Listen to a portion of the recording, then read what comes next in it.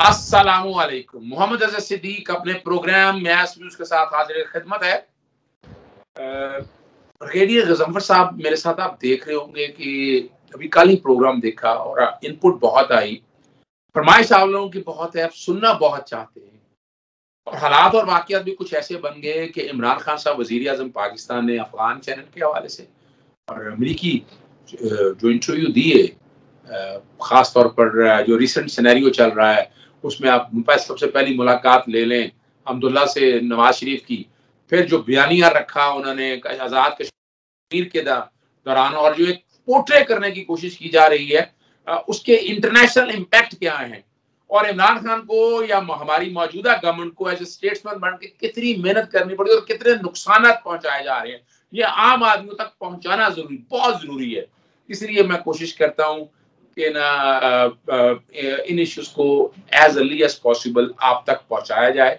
और मुतल लोगों तक भी पहुँचे, उन तक, उन्हें भी इनपुट इससे मिले और आइंदा का लाएमल वो देख सकें। जी गजनफर साहब, आप क्या फरमाते हैं? यानी आम आदमी तो बड़ा डिस्टर्ब है कि नवाज़ शरीफ के उस इंटरव्यू और बयानिए के बाद और इमरान खान को लगता है, डबल मेहनत करनी पड़ रही है या क्या हालात चल रहे हैं? आप इन, ये खास तौर पर इन दोनों इंटरव्यू के हवाले से क्या देख रहे हैं? इंटरनेशनल सिनेरियो क्या है? और पूरी दुनिया के अंदर असरात क्या पड़े और पाकिस्तान के अंदर असरात क्या है? बहुत बहुत शुक्रिया अदर सिद्दीक साहब। देखिए, जिन आप इंटरव्यूज़ का रेफरेंस दे रहे हैं और जो इंटरव्यू इमरान खान ने पिछले दो दिनों में दिए हैं, एक ब्रिटेन, एक अमेरिकन चैनल को दिया है और दूसरा आज अफ़गानिस्तान के सहाफ़ी थे।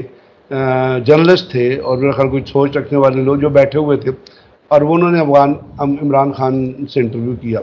अब उसमें एक चीज़ मैं पहले ये कहना चाहूँगा कि अफगान साफ़ी थे, उनकी ज़बान पश्तो है, दरई है, सब लोग जानते हैं और वर्ल्ड, दुनिया भी जानती है। लेकिन एक कर्टसी भी होती है कि जब आप एक प्राइम मिनिस्टर के साथ इंटरेक्ट कर रहे हैं और आप जैसे पाकिस्तान के अंदर इंटरेक्ट कर रहे हैं तो ये ज़्यादा बेहतर होता कि आप उस लैंग्वेज में बात करें, वो लैंग्वेज जो प्राइम मिनिस्टर समझते हैं। कोई भी प्राइम मिनिस्टर हो फॉर देट मैटर वहाँ पे मतलब अपनी ज़बान में सवाल करना और फिर उसका तर्जुमा ऊपर आना आई थिंक एक डिसकल्टिसी है मेरी नज़र में। क्योंकि वो उर्दू भी जानते हैं साहब इंग्लिश भी जानते हैं। इंग्लिश में सवाल कर लेते हैं। इमरान खान ने उनको इंग्लिश में इसलिए जवाब दिए कि शायद उनको उर्दू ना समझ आती है। तो मेरा ख्याल ये एक डिसकर्टियस एटीट्यूड था, जो उस प्रेस ब्रीफिंग में डिस्प्ले किया गया। अगर ये इंग्लिश में भी होता तो इंग्लिश में इंटरेक्शन हो जाए अब बात हो रही है अफ़गानिस्तान की, और अफ़गानिस्तान के अंदर जंग जो है, जो अभी ख़त्म नहीं हुई है। और अदर सदीक साहब एक बड़ी इंटरेस्टिंग स्टडी आई है, और उसका टॉपिक है ग्रेव यार्ड ऑफ़ अम्पायर्स और वो एक अमेरिकन बहुत जर्नलिस्ट एक बड़े प्रेस्टिजियस जर्नलिस्ट हैं। एरिक मार्गोलिस, उन्होंने लिखी है। और उन्होंने उसके अंदर बताया कि जी किस तरह अफ़गानिस्तान के अंदर यू, यूनाइटेड स्टेट्स ने तबाही की, और उसके अंदर वो कहते हैं कि अफ़गानिस्तान वॉर जो थी यूनाइटेड से, वो कहते हैं Afghanistan war war was a war of lies, यानी झूठ की जंग थी, जो बुश जैसे शख्स ने इम्पोज की अफ़गानिस्तान के ऊपर। वहाँ उन्होंने बी फिफ्टी वन ड्रोन हर चीज़ इस्तेमाल की, लेकिन अल्टीमेटली उनको वहाँ से शिकस्त पर निकलना पड़ा। और उसमें वो जो कहता है ना, वो कहता है ये कि असल में ये जो जंग थी ना, ये ओपीएम के लिए ड्रग ट्रेड के लिए थी। और वो ड्रग ट्रेड प्रोटेक्ट करनी थी अफ़गानिस्तान की ड्रग ट्रेड ओपीएम ट्रेड उन्होंने प्रोटेक्ट करनी थी और उससे उन्होंने फ़ायदा उठाना था। उसके, वो उसने कहा कि जी उन्नीस सौ सत्तर में उन्होंने इंडो चाइनिया में ओपियम ट्रेड के, को प्रोटेक्ट किया। उसके बाद सेंट्रल अमेरिका में कोकेन बिज़नेस ये सी आई ए बुनियादी तौर पे करती है। ड्रग्स उठा के आपको पता है, जब तालिबान का पहले रूल था तो ड्रग की पॉपी की कल्टीवेशन ख़त्म हो गई थी। जब वहाँ पे कुलेशन फोर्सेज आई और अमेरिकन फोर्सेज आई तो ड्रग की प्रोडक्शन जो है, वो टॉप लेवल पे पहुँच गई। और वहाँ से ड्रग जो है वो कोकेन और पीमिया ये निकलती थी और वो तमाम दुनिया में एक ट्रांजिट रूट बना हुआ है वो गोल्डन ट्राइंगल जिसे कहते हैं। उसके ज़रिए वो दुनिया में जाती थी उसका फ़ायदा सी आई उठाती थी और इसके ऊपर आर्टिकल भी अवेलेबल है जो कहते हैं कि टर, अपना टेररिज्म फॉर ड्रग और जो वहाँ से पैसा जमा होता है वो टेररिज्म के अंदर दाइश जैसी तंजीमों को आई एस आई एस जैसी तंजीमों को इराक में तबाही करने के लिए लिबिया में तबाही करने के लिए अपना बाकी मुसलमान मुल्कों में तबाही करें, वो ड्रग मनी होती है, उस फंड को जमा करके उसको इस्तेमाल किया जाता है। अब ये जंग थी जो अमेरिका ने लड़ी और अल्टीमेटली रात के अंधेरे में बगैर किसी को बताए हुए बगराम एयरबेस से भी भाग गए। अब कैंप सेबेस्टियन भी खाली कर रहे हैं? इसीलिए वो कहता है कि जी जो है वो जिस रेफरेंस का मैं जिस आर्टिकल में रेफरेंस दे रहा हूँ, उसमें कहता है, जॉर्ज डब्ल्यू बुश जो था ही was a man of deep ignorance आप समझिए कि George W Bush was a man of deep ignorance और उसने वो जंग इसलिए की कि नाइन इलेवन का जब वाक़ हुआ तो वो सो रहा था। अब नाइन इलेवन के वाक़े के ऊपर भी जाएँगे तो वो भी बहुत बड़ा फॉल्स फ्लैग ऑपरेशन आपको किसी ना किसी तरीक़ा कार से मिलेगा। तो ये चीज़ें जो थी, ये सामने आई। तो अब जो इस वक्त सूरत हाल है अफ़गानिस्तान के अंदर, उसके अंदर आपको पता है कि तालिबान एक साइड पे, अफगान गवर्नमेंट दूसरी साइड पे, जिसके अंदर उसको मैं गवर्नमेंट तो नहीं कहता, उसको मैं चंद लोगों का एक टोला कहता हूँ। क्योंकि हुकूमत वो होती है जिसकी कोई अथॉरिटी होती है, जिसकी कोई गवर्नेंस होती है, जिनका कोई सिस्टम होता है, जिनके इकतदार की कोई लिमिट होती है। और वो वहाँ पे अपना इकतदार जो है, उसको वो इम्पोज करते हैं, उसको वो इन्फोर्स करते हैं। लेकिन यहाँ पे तो आपको पता है कि ये अशरफ गनी और इनका जो टोला है, इनकी जो लिमिट है, वो तीस बाई तीस किलोमीटर के काबुल के अंदर भी नहीं है। तो अगर वो काबुल के अंदर भी नहीं है तो आप ये बताइए कि वो किस किस्म की हुकूमत बाकी जब आप तालिबान जिस तरह चलते आ रहे हैं और अभी अपना जेम्स स्कॉट मिलर ने जो वहाँ पे कमांडर थे फौजों के, उन्होंने खुद कह दिया कि तालिबान पेशकदमी कर रहे तो इस वक्त ज़रूरत क्या है? इस वक्त ज़रूरत यह है कि वहाँ पे किसी ना किसी तरीके से अमन आए। इसलिए कि पिछले चौदह साल में बी फिफ्टी टू बॉम्बर से लेके हर ड्रोन, हर बम अमेरिका ने इस्तेमाल करके देख लिया। क्या वहाँ पे अमन आ गया? क्या वहाँ पे पीस आ गया? क्या लोगों के राइट्स प्रोटेक्ट हो गए? क्या और चीज़ें जो है वो बेहतर हो, बहुत तो तबाही की तरफ़ शिकार हो गया ना? जबकि बुश ने कहा था कि जी हम जाके वहाँ पे नेशन बिल्डिंग करेंगे। इसीलिए वो जो मैं आपसे कह रहा हूँ कि एरिक मॉर्गस ने लिखा है कि Bush was a man of deep ignorance मतलब उसको पता ही नहीं था कि करना क्या। अब यहाँ पे प्रोजेक्शन की ज़रूरत है और उसमें पाकिस्तान के रोल के ऊपर भी सवाल उठ रहे हैं।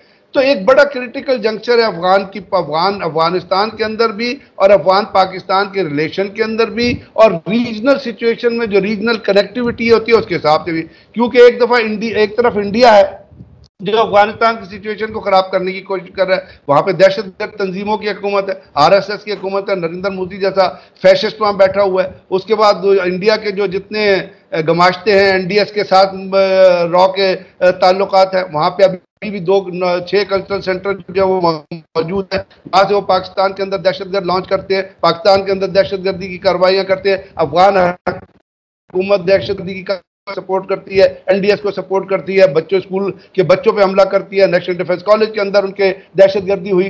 तो अब उसके अंदर ज़रूरत है कि क्लैरिटी से पाकिस्तान का मौक़ पेश किया जाए। और पाकिस्तान का मौक़ क्लैरिटी से पेश करने के लिए सिर्फ़ हुकूमत नहीं, बल्कि जितनी पॉलिटिकल पार्टीज़ हैं, उनकी क्यादत है, उनकी भी ज़रूरत है कि वो अफ़गानिस्तान के मसले के ऊपर अपना जो पॉइंट ऑफ़ व्यू उसको लेके आ गए लेकिन क्या करें, यहाँ पे कुछ अचकजई जैसे लोग हैं, जो अफ़गानिस्तान से पैसे खाते हैं, पाकिस्तान में भाई को गवर्नर लगाते हैं, या आपके आगे पाकिस्तान को गाली देते और पाकिस्तान के खिलाफ बात करते या वो है जो कहते हैं कि जब अफ़गानिस्तान में जाके बैठ के वो आपने देखा, वहाँ पे एक वो पीटीएन जैसी तहरीक है जो फंडेड बाय सीआईए है। सीआईए स्टेशन चीफ ने एक स्पेशल यूनिट बनाया था पीटीएन को क्रिएट करने के लिए उनको फंड करने के लिए। उसके बाद उनके जो वो, वो वज़ीर और जो उनके लोग हैं वो जाते हैं वहाँ पे अफगान एनडीएस से और बाकी लोगों से मुलाकात करते हैं उनसे फंड दे के आते हैं। पाकिस्तान के अंदर दहशत गर्दी की वारदातों को सपोर्ट करते हैं। तो ये जो पाकिस्तान के अंदर के दहशत गर्द हैं इनको दबा के जो जो लफ्ज़ों के भी और फ़िज़िकल भी ऐसी एक्टिविटीज़ करने की कोशिश करते हैं जिससे पाकिस्तान के लोगों को भी, पाकिस्तान की हुकूमत को भी और पाकिस्तान के अदारों को भी क्रिटिसम आए, उसको क्लैरिफाई करना जो है वो बड़ा ज़रूरी है। तो इस सिलसिले में एक तरफ़ आप रोल देख रहे हैं, वो शख्स वो चोर जो बैठा हुआ है जाके बरतानिया में, उसने क्या किया, किससे मुलाकात की? एक ऐसे शख्स से मुलाकात की जिसने पाकिस्तान के लिए एक बड़ा गंदा लफ्ज इस्तेमाल किया था जो मैं यहाँ रिपीट नहीं करना का बावजूद इसके कि पाकिस्तान ने इतने सारे तीन लाख महाजरीन अभी भी आपके साथ मौजूद है इतने बड़े महाजरीन का बोझ बोझ बर्दाश्त किया। यहाँ पे जब वो आए तो पाकिस्तान के अंदर बहुत सारा क्राइम आया क्लाशन को कल्चर आया ड्रग्स आई और बहुत सारी चीज़ें जो उसने पाकिस्तान को कहा है ना पाकिस्तान को उस, उस उस जो लफ्ज इस्तेमाल किया उस लफ्ज से रिलेटेड बहुत सारी चीज़ें यहाँ उनके कैंपों में बिकी और इस्लामाबाद की सड़कों पर बिकती नज़र आती थी। लेकिन पाकिस्तान ने कभी उसको उस चीज़ को हाईलाइट नहीं किया उसको क्रिटिसाइज नहीं किया। आपने उनका बोझ बर्दाश्त किया उनको रखा उन्होंने यहाँ कपड़ों का कारोबार शुरू किया उन्होंने कंटेनर का कारोबार शुरू किया उनके ट्रक्स चलते थे पा, पाकिस्तान की सड़क कोई रजिस्ट्रेशन फ़ीस पे नहीं करते थे कोई टोल पे नहीं करते थे। आप पाकिस्तान की सड़कों का बेड़ा गर्क किया पाकिस्तान ने जो जंग लड़ी उसमें आपके सत्तर हज़ार शहीद हुए। जब जयाउलक के ज़माने में आप सोवियत यूनियन के खिलाफ जंग लड़ रहे थे, पाकिस्तान की शहरों में दहशत गर्दी की वापताते होती पिशावर में इतने सीरियस जो है वो दहशत गर्दी के अटैक हुए, लेकिन हमने सब कुछ बर्दाश्त किया, अफगानियों को अपने अंदर रखा। लेकिन ये इतने मतलब एहसान फरामोश लोग हैं कि ये अपनी गंदी जबान को इस्तेमाल, क्योंकि इनके अंदर इखलाकी कदरें नहीं है। इसकी एक वजह है क्यों इखलाकी कदरें नहीं है? वो मैं यहाँ बयान नहीं करना चाहता, अनएथिकल हो जाएगा। ये जो है ना मुहिब और उस से वो एक जो है जिसने पाकिस्तान को कहा था कि वो क्या नाम है उसका जिसने कहा कि जी, पाकिस्तान की एयरफोर्स के बारे ये सारे पेड टाउट है। टाउट्स जो होते हैं वो दूसरों की जबान बोलते हैं, अपनी जबान। लेकिन ज़रूरत यह है कि अगर वो दूसरों की जबान बोल रहे हैं, अगर वो रॉ की जबान बोल रहे हैं, अगर वो एनडीएस ने उनको फ़ीड किया है, अगर वो एंटी पाकिस्तान रिटोरिक और स्टार्स दे रहे हैं तो होना क्या चाहिए? होना तो ये चाहिए कि पाकिस्तान के जितने भी लोग हैं, चाहे वो अवाम के अंदर हैं, चाहे वो लीडरान के, वो उनसे मिलने से बाज आए अवॉइड कर। लेकिन आप बड़े फखर से मिलते हैं, सागदार बैठे होते हैं, तस्वीरें खिंचाते हैं तो पाकिस्तान के ऊपर कंपल्शन बढ़ जाती है। यानी डायरेक्ट आप पाकिस्तान के लोगों को, रियासत पाकिस्तान को, जिसमें हुकूमत भी शामिल है, अवाम भी शामिल है, अदारे भी शामिल, उनको आप अंडर प्रेशर लेके आ रहे हैं, उनको आप मुलजम बना रहे हैं दुनिया की नज़रों में। तो क्या एक ऐसा शख्स जो तीन दफ़ा प्राइम मिनिस्टर रहा हो, उसकी ये खिलाकियात की तो है? उसको ये सबक दिया गया है? क्या ये बताया गया दिलशाद बेगम ने कि जी पाकिस्तान को अंडर प्रेशर लेके आओ? क्या ये चीज़ें आती हैं? तो अब इस सूरत हाल में ज़रूरी ये था कि पाकिस्तान के प्राइम मिनिस्टर जो हैं, वो पाकिस्तान का स्टांस क्लैरिफाई करें। और ये जो प्रेस कॉन्फ्रेंसेज हुई हैं, इन दोनों में उन्होंने इमरान खान ने बारह ये कहा है कि देखिए, अफ़गानिस्तान का कोई मिलिट्री सोल्यूशन नहीं है। हमारे यहाँ दहशतगर्द जो है, अगर आप कहते हैं कि यहाँ से अपना जाते हैं, अफगानी जो है कैंपों में, वो जाके वहाँ दहशत गर्दी करते हैं। तो यहाँ से पच्चीस हज़ार लोग रोज़ाना क्रॉस करते हैं। आप बताइए, हमारे पास कौन सा स्कैनिंग इक्विपमेंट है कि हम लगा के रखें कि पता चले कि ये बंदा अफ़गानिस्तान में जाके तालिबान के साथ कार्रवाई करके आ रहा है या वहाँ पर अपनी फैमिली से मिलने गया था? उसके बाद ये कि अफ़गानिस्तान के अंदर जो सोल्यूशन है, आप खुद तलाश करें। ये तालिबान तलाश करे पॉलिटिकल इंक्लूसिव सोल्यूशन तलाश करे इंटर अफगान डायलॉग करे, आपस में साथ मिलकर बैठे। आप जो सोल्यूशन तलाश करेंगे, वो हमें एक्सेप्टेबल होगा। हम यहाँ से किसी चीज़ को हमने तो बाढ़ लगा दी है। इसी चीज़ को रोकने के लिए कि पाकिस्तान से कोई इन्फ्रिजमेंट ना हो और अफ़गानिस्तान से कोई इन्फ्रिजमेंट पाकिस्तान के अंदर ना हो। ये प्रैक्टिकल चीज़ है ना, जो बाढ़ आपको नज़र आ रही है, जो 1200 किलोमीटर का बॉर्डर है, उसके ऊपर आपने 90 परसेंट बाढ़ बाढ़ कंप्लीट कर ली है। बाकी 10 परसेंट उसके अंदर आपने फोर्ट्स बनाए हैं। वहाँ पे एक आपने सिस्टम लगाया है इलेक्ट्रॉनिक सिस्टम लगाया है कैमरा लगाए हैं, उनको आप कवर कर रहे हैं, क्योंकि उसके बाद होता क्या है कि वहाँ से अफ़गानिस्तान की फोर्सेज है वो पाकिस्तान के फौजियों के ऊपर फायर कर रहे हैं। ये किसकी डायरेक्शन पर कर रहे क्या इसमें अशरफ गनी इन्वॉल्व नहीं है। अब इमरान खान ने कहा कि जी अशरफ गनी ने और वो जो मुहिब ने जो जबान इस्तेमाल की है क्या इन इस, इस मौके पे ये जबान इस्तेमाल? तो अफ़गानिस्तान के अंदर जो लोग हैं उनको चाहिए कि वो देखे कि कौन उनका अमन खराब कर रहा है। वो अशरफ गनी है और अशरफ गनी के लोग हैं। जब तक वो वहाँ पे मौजूद रहेंगे अफ़गानिस्तान के अंदर अमन आने की तो क्योंकि अशरफ गनी जैसे लोग नहीं चाहते कि अफ़गानिस्तान में अमन आए। तो ये जो कल का जो इंटरव्यू था जो उन्होंने अच्छा, एक मिनट रोकना चाहता हूँ। मैं ज़फ़र साहब, मैं रोकना चाहता हूँ। आपने बड़ी ज़बरदस्त बड़े आसान तरीके से कई चीज़ें एक्सप्लेन कर दी हैं।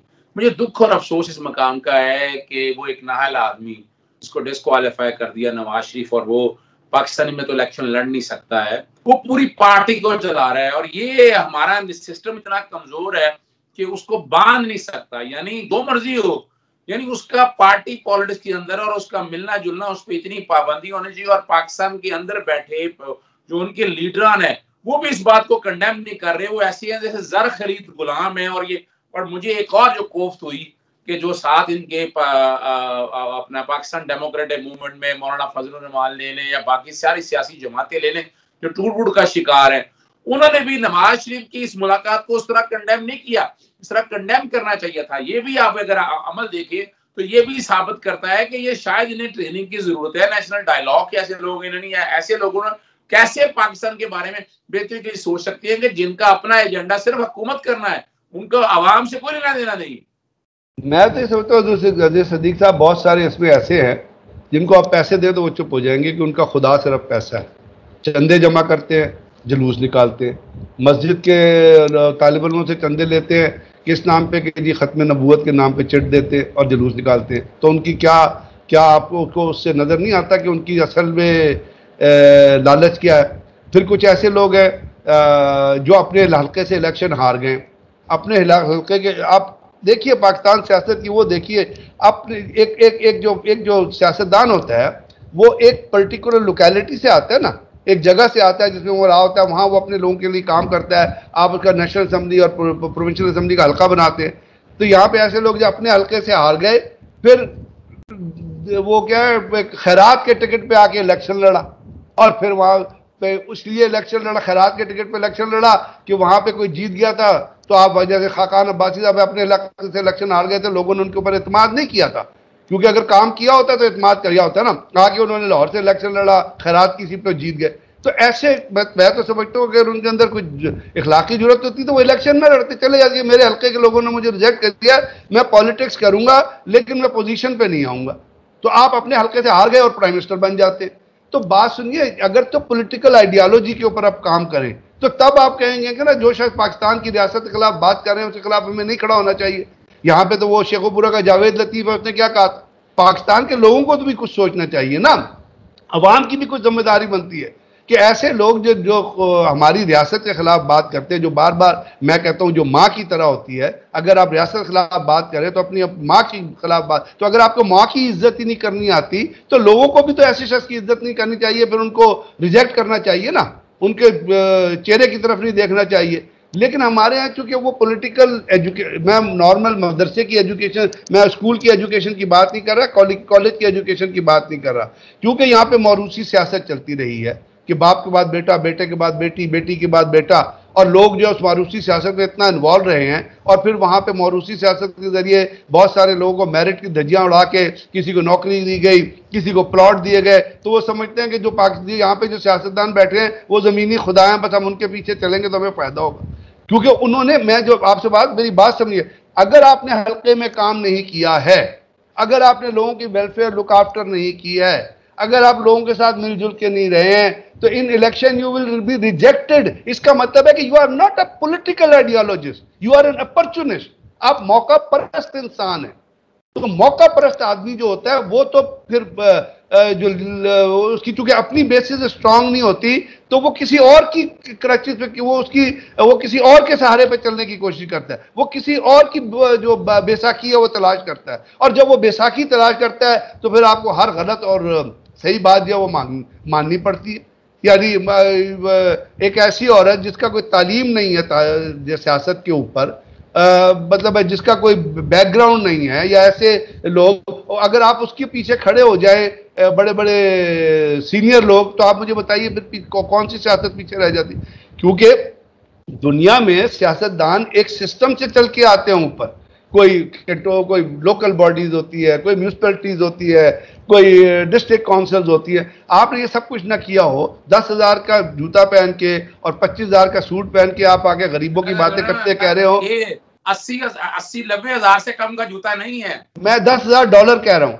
दस हज़ार डॉलर का जूता पहन के और कपड़े पहन के और आप स्टेज पे आए कह रहे हो कि अंडे जो है वो बारह रुपए दर्ज बारह रुपए किलो हैं या अंडे जो है सौ रुपए किलो है बड़ी महँगाई है तो आप मुझे बताइए आपका सियासत से कितना था। ये लोगों को सोचना चाहिए। बहुत हो गया। अब बिरयानी की प्लेट के पीछे ना चले। जो अपना, आपका जो आईडी कार्ड है, उसको पाँच सौ रुपए में ना बेचे। जो भी पार्टी हो, आप अपने जमीर से देखे और जमीर और अपने आँखें खोलो उस पर ये देखिए कि कौन ऐसा शख्स है, कौन सा जो आपके टैक्स का पैसा खा रहा है। कौन है जो टैक्स का पैसा खा रहा है? किस तरह कराची में कब्जे हुए? वो पैसा किसके पास गया?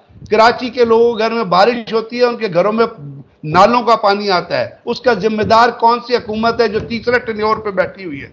किस तरह किक बैग जाती है क्लिफ्टन से और बाहर बैठे हुए लोगों ने कहा कि हम किस तरह पैसे पे करते थे किस तरह उनकी दौलतें बनी है। अब आप इस चीज़ को अगर आप नहीं देखेंगे और हमारे लोग नहीं देखेंगे इस चीज़ को तो मैं बड़ा अफसोस होगा कि हमारे यहाँ पर सियासत जो है वो इसी तरह बिके हुए लोगों के देर और जो अपना क्या कहते हैं नवाज़ शरीफ की आप देखिए ना नवाज़ शरीफ की कितनी दौलत है। तो 1.6 बिलियन यूएस डॉलर कहाँ से आया? मेरे पास इससे ज़्यादा है। मेरे पास इंफॉर्मेशन इससे ज़्यादा की है। हाँ, इससे ज़्यादा होगी मैं बड़ा कैलकुलेटिव एस्टिमेट से कह रहा हूँ और आसिफ जरदारी को 1.8 बिलियन के ऊपर आते हैं। तो आप मुझे ये बताइए एक सवाल बुनियादी खड़ा होता है। क्या पाकिस्तान के बिज़नेस अगर आपने पाकिस्तान में बिज़नेस किया अगर तो आपने बाहर बिज़नेस किया तो इलीगल बिज़नेस है। आपने स्टेट बैंक के थ्रू पैसा नहीं भेजा यू आर मनी लॉन्डर और अगर पाकिस्तान के अंदर बिज़नेस किया तो पाकिस्तान के बिज़नेस में क्या इतनी स्पेस और इतनी कैपेसिटी है कि आपका इतने शॉर्ट टाइम में इतना पैसा जन बुनियादी सवाल है इतना पैसा आप बना सकते आपने एमसीबी भेज दिया एक दो रुपए दो रुपए में एमसीबी भेज दिया, किसी ने सवाल नहीं किया पाकिस्तान पाँच रुपए में आपने एक शख्स एमसीबी भेज दिया। उसके अंदर जो लोगों की दौलत पड़ी थी वो कितनी थी? उनकी बिल्डिंग का स्ट्रक्चर का किसी ने सवाल नहीं किया पाकिस्तान में कि गिरेबान पकड़ते कि भाई तुम यहाँ पे मुगल बादशाह हो, कि इस तरह को चीज़ों को बेच रहे हो? तो ये लोगों को सोचना पड़ेगा, हमारे यहाँ कुछ थिंकिंग करनी पड़ेगी। ये बड़ी दुख की बात है कि पाकिस्तान के अंदर ऐसे लोग सियासत करें जो पाकिस्तान के टैक्स पेयर का पैसा खाते हैं, गबन करते हैं, बाहर से ग्रांट आती है। बाहर से ग्रांट आती है उस ग्रांट को खा खा जाते और आ, कोई उसका वो जो है वो पूछगछ नहीं होती कि भाई कहाँ गया किसने दिया किस तरह आया। तो इस तरह करके जो चीज़ें होंगी उसमें आप बताइए ना मुझे कि क्या होगा। ए, अपना एक जापानी जापानीज लोन आया था फेडरल कंसोलिडेटेड कंसोलिडेटेड लोन था। कोई ये 2000 अपना दो की बात ये उसके अपना नवाज़ शरीफ की गवर्नमेंट के दौरान। वो कहीं क्रेडिट हुआ ही नज़र नहीं आया। उसके ऊपर इतनी स्टोरियाँ छपी। मैन अपना आ, उसके ऊपर बहुत सारे सवाल उठे लेकिन किसी ने नहीं पूछा कि भाई कहाँ से लोन आके कहाँ जाते। जो इतना आईएमएफ ने लोन दिए क्या वो आपको कहीं लगे नज़र आए? तो ये सवाल लोगों को पूछने चाहिए। इसलिए नहीं कि आप किसी के मुखालिफ इसलिए कि आपका अपना इंटरेस्ट हर्ट और हर्ट हो रहा है। हमारा अपना जाती इंटरेस्ट हर्ट मैं टैक्स देता हूँ मेरा इंटरेस्ट हर्ट हो रहा है। वो टैक्स डेवलपमेंट पे लगना चाहिए। वो टैक्स अदारों पे लगना चाहिए। उस टैक्स से पाकिस्तान के अंदर तरक्की होनी चाहिए। अगर उस टैक्स के ज़रिए एक शख्स की तरक्की हो रही है तो तो करप्शन है ना। तो मैंने कहा, वो ये चीज़ें हैं जो अब हमें किसी न किसी टाइम हमारे लोगों को बैठ के सोचनी पड़ेगी और आपको जो चीज़ें उनको सही रियलिटी में देखना पड़ेगा। तो पाकिस्तान के अंदर जिस तरह अफ़गानिस्तान की चीज़ अल्लाह करे, अफ़गानिस्तान के अंदर जल्द अमन आए वहाँ पे हम लगते हैं पॉलिटिकल इंक्लूसिव गवर्नमेंट सेटल हो, लेकिन वो उसी वक्त होगी जब वहाँ पे बाहर की ताकतें जो हैं, जिसमें इंडिया ख़ास तौर पे पेश पेश है। और इमरान खान ने आज ये भी कहा कि जी, हम इंडिया से मुजाकर करना चाहते हैं, लेकिन वहाँ पे एक आर एस एस की लेड फैशस गवर्नमेंट है, जो मुजाकर के लिए स्पेस नहीं देती है। और जब वो मुजाकर के लिए स्पेस नहीं देगी क्योंकि उनसे सवाल किया गया कि जी तीनों मुल्क मिल के बैठ जाएँ, एक साफ़ी ने कहा कि इंडिया अफ़गानिस्तान और पाकिस्तान तो उन्होंने कहा कि जी हम इंडिया से किस तरह, हमने तो इंडिया से डिप्लोमेटिक चैनल खत्म ये बहुत पुरानी ज़रूरत थी कि आप ये करें। आप उसको इंडिया को ये बताएँ कि अगर आप दहशतगर्दी ख़त्म नहीं करोगे आर्टिकल 378 75 को साथ कश्मीर पे बातचीत करो, हम आपसे बातचीत नहीं करेंगे इसको क्लैरिटी से आज तक नहीं कहा गया। हमारे यहाँ तो ये होता है कि दहशतगर्दी के हमले होते थे हम कहते हैं हमसाया मुल्क। इतना डरते थे। यानी जब आपने बासित खान को और तस्लीम असलम को कहा कि इंडिया का नाम नहीं लेना तो फिर पा, पाकिस्तान के लोगों को किस तरह पता चलेगा पाकिस्तान के अंदर दहशतगर्दी कौन कर रहा है? तो वो कहते हैं बात की है अगर साहब देखें अभी को तारीख है जो रोको में अभी आपने जो ज़िक्र किया मैंने तसलसल में रोका नहीं आपको। मेरे पास ऐसे सबूत मौजूद हैं ऐसी चीज़ें मौजूद हैं कि ये अपना बीस तीस रुपए पैंतीस रुपए महाना पर ये पांडियों का काम करते थे, इनके वालदेन, चचा वगैरह सारा दालगरा चौक के अंदर। जब पाकिस्तान में आए तो उस वक्त भी सैकड़ों में इनके अपना क्या होगा? उन्नीस सौ अट्ठानवे की इनकम टैक्स की रिटर्न जब देखी थी तो उस वक्त तकरीबन को साढ़े नौ लाख या दस लाख के करीब टैक्स दिया था। करोड़ों तो उस वक्त भी नहीं था इन लोगों के पास। तो ये जो जो चीज़ें नज़र आती हैं और इंटरेस्ट जो नज़र आ रहे हैं, आप वजह फरमा रहे हैं कि इनको आवाम को ये समझना बड़ा ज़रूरी है कि अब कब तक है ये बोझ बर्दाश्त करते रहेंगे जिनका मकसद पाकिस्तानियत नहीं है जिनका मकसद कौमियत नहीं है इनका मकसद जातियात है अपना पेट भरना है अपने लोगों को पालना है और यही वजह है कि वो इस तरह के कामों में और और वो क्या करते हैं खा, आ, खा, खाता है तो लगाता है अभी। आप देखे ना अभी ये कॉन्सेप्ट ये इस तरह डेवलप कर लिया उन्होंने कि वो अभी भी मैं मेरे पास जो इतलात है वो बड़ी खतरनाक इतलात है कि उन्होंने पूरी प्लानिंग की है कि जितना पैसा उन्होंने इकट्ठा किया, उसमें से एक बहुत बड़ी रकम जो है ना, मिसाल के तौर पर चालीस पचास करोड़ रुपया एक एम एन ए या एक एम एन ए को देंगे, वो बैठ कर ये पैसा धोसे और लोगों को मजबूर करे। अगर लोग यही फिर दाल रोटी या बिरयानियों पे आगे फिर तो कौम का बड़े मसाइल पैदा होंगे। आप बिल्कुल सही कह रहे हैं तो इसलिए तो कह रहे हैं कि कौम की आँखें खोलना ज़रूरी है कि भाई अब वक्त आ गया है कि अपने इंटरेस्ट को पहचानो। हर चीज़ जो है, पाकिस्तान है तो हम हैं।